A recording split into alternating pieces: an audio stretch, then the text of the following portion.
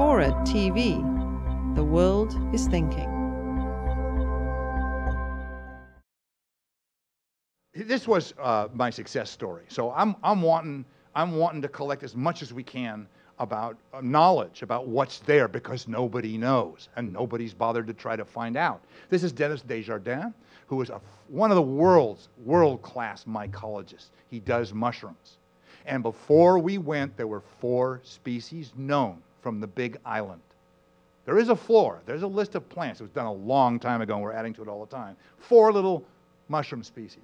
Well, Dennis was on us with, uh, with us on uh, Gulf of Guinea 2. He could only spend a couple of weeks and only did the big island.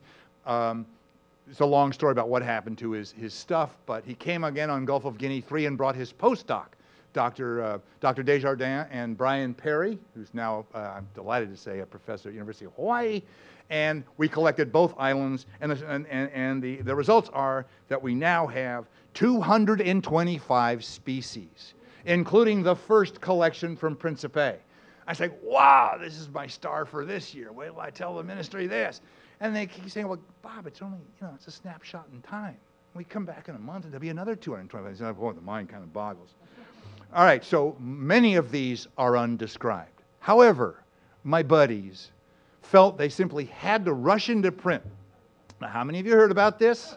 Seems like the world did had to rush into print with a particularly distinctive one. This just came out less than a year ago. This is called a stinkhorn, and it grows vertically erect out of the forest floor, and it smells and draws flies. And the genus is Phallus. It is, because it looks like a penis, right? Well, let me introduce you to Phallus drewesii.